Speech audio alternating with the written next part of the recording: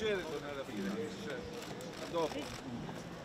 Buongiorno a tutti e un saluto al Ministro Tria, al Sindaco di Firenze. Allora, sicuramente stiamo, adesso dobbiamo assolutamente varare e licenziare al più presto il decreto per i truffati delle banche. L'abbiamo detto eccetera, quindi c'è solo qualche aspetto tecnico, ma sicuramente domani vedo anche il Ministro Tria, l'ho visto anche adesso, ma mi sembrava inopportuno adesso nel, nelle pieghe di questo evento ragionare di queste cose. Domani ci vedremo col Ministro Tria e va varato assolutamente al più presto il decreto per i tuffati delle banche. Non mi sembra che ci siano i presupposti per parlare di attacco alle banche. Signori, conserviamoci tutti lucidi.